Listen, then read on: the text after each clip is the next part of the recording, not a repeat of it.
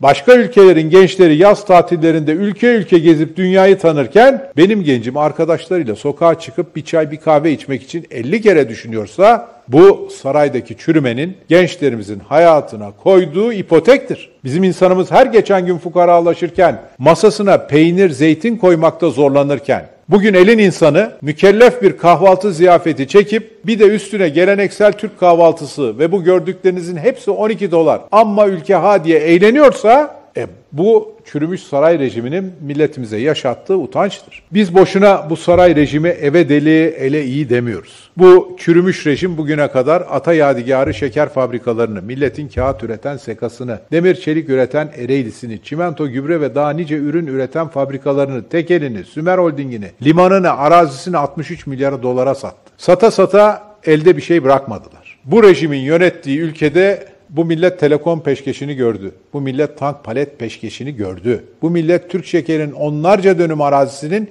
iki daire parasına nasıl satıldığını gördü. Şimdi bu ülkenin topraklarını, bu ülkenin vatandaşlığını doların yeşili için satıyorlar. Bunları yaparken de çürümüş düzenin yetkilileri ülkemizin yıldızı parlıyor. Bizden önce bu ülke toplu yine üretemiyordu. Bakın şimdi neler üretiyoruz diye ahkam da kesebiliyorlar.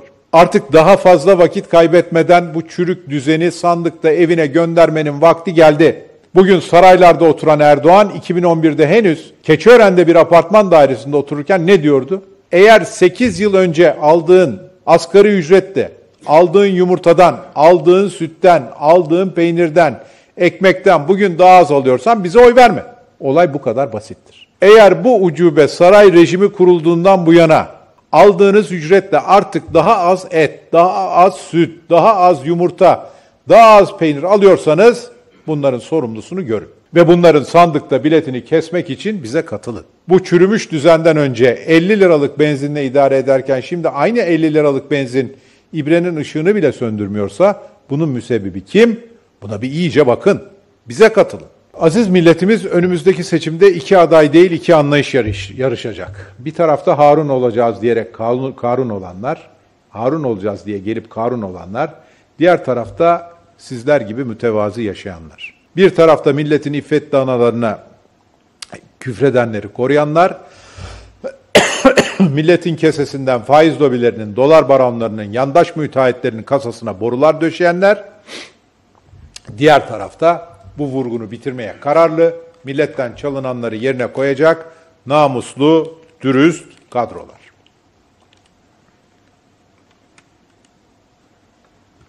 Bir tarafta dediğim dedikçi, milletin cebini boşaltan, otoriter saray rejimini ülkenin başına bela edenler, diğer tarafta millet iradesinin tecelligahı Gazi Meclisi ülke yönetiminin merkezine koymak isteyen demokrasi aşıkları. Çürük tahta çivi tutmaz, bu çürümüş rejim artık iflah olmaz.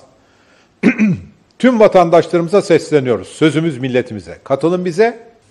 Erdoğan 20 yıldır iktidarda, üstüne diktirdiği saray rejimi kılığıyla 4 yıldır işleri tek başına yürütüyor. Balıklı Rum Hastanesi'nde yangın çıkıyor. Sarayın sözcüsü sıkılmadan millete yangına müdahale edebilmek için Erdoğan'dan talimat beklendiğini söylüyor. Ne zamandan beri İstanbul Büyükşehir Belediyesi'ne bağlı itfaiye Erdoğan'ın emrine girdi? Ama iş KPSS sorularının çalınmasına gelince sorumlu saray ve Erdoğan değil. Sorumlu kim? Sorunu gündeme taşıyan, gençlerimize destek veren Sayın Genel Başkanımız ve Altılı Masa. Memnuniyetler saraya, şikayetler altılı masaya. Ülkede döviz kıtlığına sebep olurlar. Stokçu diyerek sanayiciyi suçlarlar.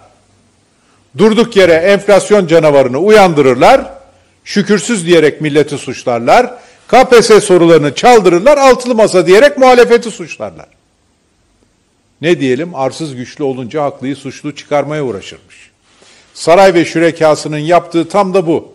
Aslında KPSS sınav sorularının çalınması saray rejimindeki korkunç çürümeyi bir kez daha gözler önüne serdi. Gençlerimizin sosyal medyadan feryatları yükselmeseydi, milletin baskısı bu rezaleti örtbas edilmez noktaya getirmeseydi, Erdoğan yine geçmişte yaptığını yapardı. Çalınan sorularla yüz binlerce evladımızın hakkının, hukukunun yenmesine göz yumardı.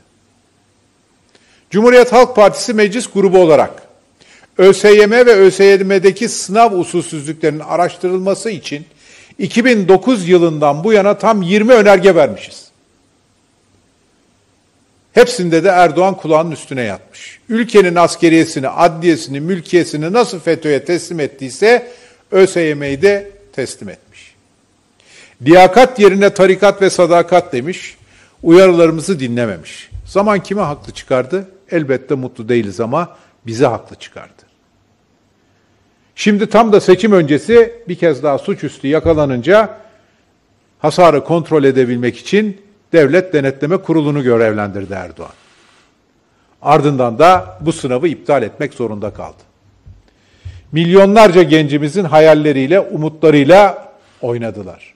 Milyonlarca ailenin emeğini çaldılar ama hala liyakat yerine saraya sadakat ve tarikat demeye devam ediyorlar.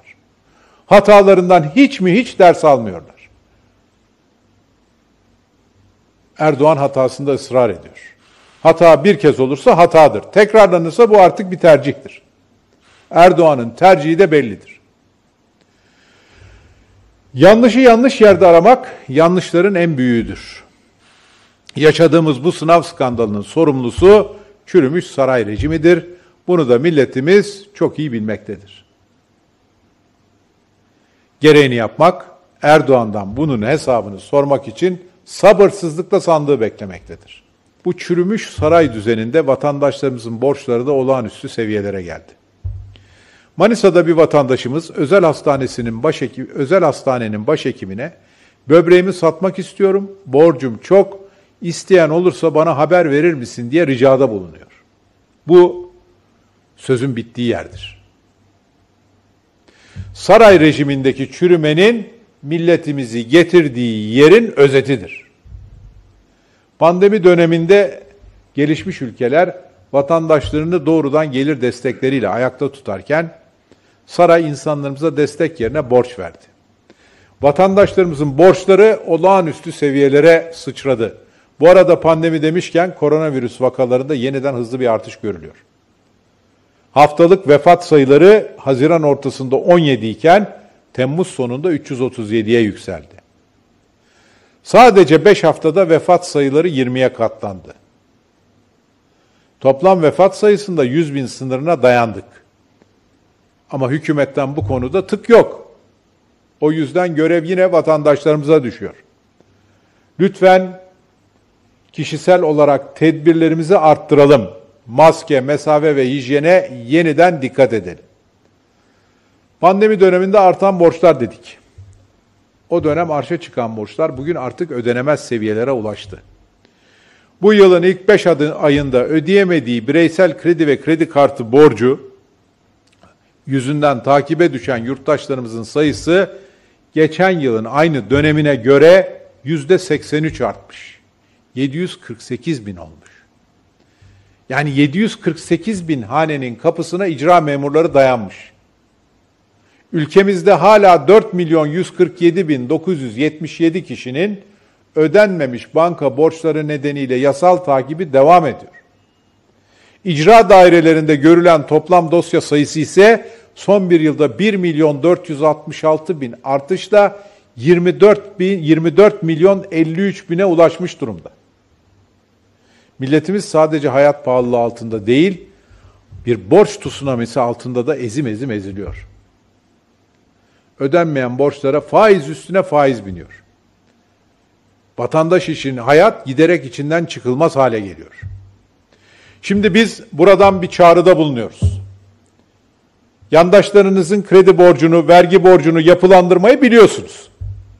Vatandaşlarımızın banka borçlarını yapılandırmak için de acilen adım atın.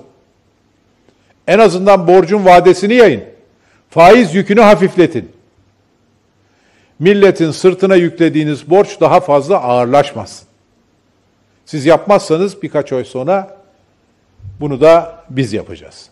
Değerli basın mensupları. Bu devlet büyük bir devlet, bu millet büyük bir millettir. Milletimiz her şey